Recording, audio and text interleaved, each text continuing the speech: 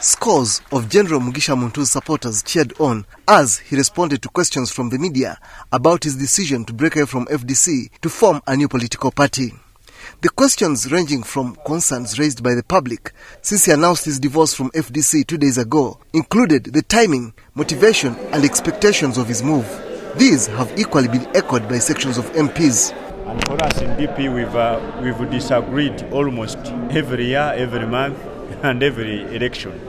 But we continue to worship DP as our party, and uh, we think that is the very position all other members of other political parties should take. You can fight from within, of course, to uh, make things uh, right in your party, but you cannot run away from a problem. Mugisha Mutu maybe had had some bit of quarrels inside the party which we cannot easily establish, but given the nature of his conduct, it shows that he has been seated on, on what the Baganda call amagwa, thorns.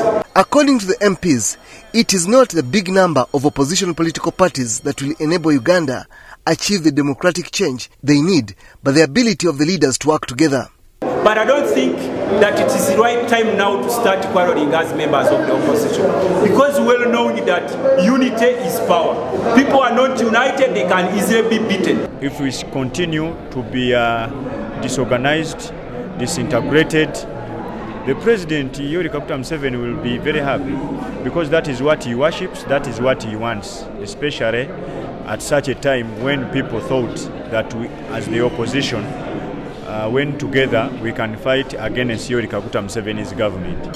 But some still hold the view that General Mugisha Muntu has a mission to perpetuate the current regime in power by dividing the opposition further. Let me not be tempted to think that it's being used by the state, well knowing that for me I don't, I've never trusted any person who has ever been with President Museveni in the jungles of well tribe. They are always playing their, their, their nyege nyege politics. They are, they are so tricky.